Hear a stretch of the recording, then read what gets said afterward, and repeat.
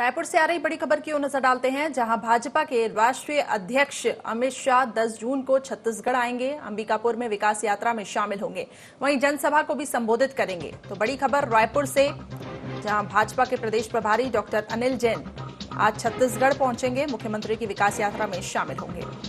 आपको बता दें, भाजपा के राष्ट्रीय अध्यक्ष अमित शाह दस जून को छत्तीसगढ़ आएँगे और अंबिकापुर में विकास यात्रा में शामिल होंगे।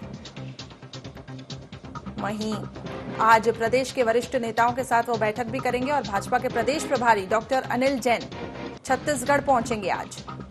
मुख्यमंत्री की विकास यात्रा में भी शामिल होंगे।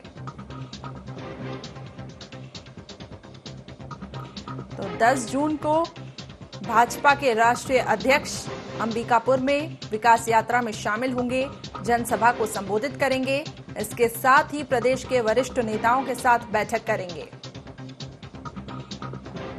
वहीं आज भाजपा के प्रदेश प्रभारी डॉक्टर अनिल जैन छत्तीसगढ़ पहुँचेंगे, जहाँ मुख्यमंत्री की विकास यात्रा में शामिल होंगे।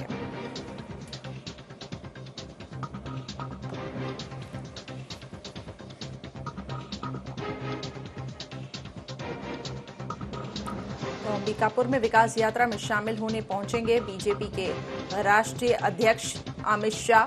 10 जून को वो छत्तीसगढ़ आएँगे। वहीं जनसभा को संबोधित करेंगे। प्रदेश के वरिष्ठ नेताओं के साथ बैठक करेंगे।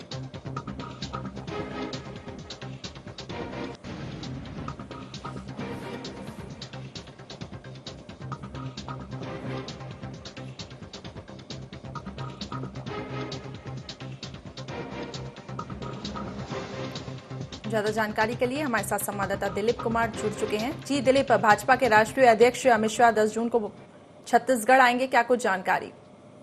हाँ जी बताना चाहूँगा भाजपा के राष्ट्रीय अध्यक्ष अमित शाह जी दस जून को रायपुर छत्तीसगढ़ आ रहे हैं। इस दौरान वो अंबिकापुर में मुख्यमंत्री के विकास यात्रा में शामिल होंगे। साथ ही साथ वहाँ जनसभा को संबोधित करेंगे।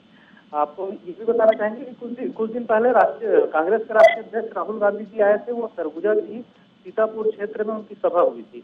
उसी परिप्रेक्ष्य में देखा जा रहा है क्योंकि वहाँ एक माहौल बना हुआ है कि कांग्रेस काफ़ी है और उसको कांग्रेस का गढ़ भी माना जाता है क्योंकि वहाँ टीएसपी से नेता है वो उसका उनका क्षेत्र है उनका काफ़ी अच्छा पहुँच जी।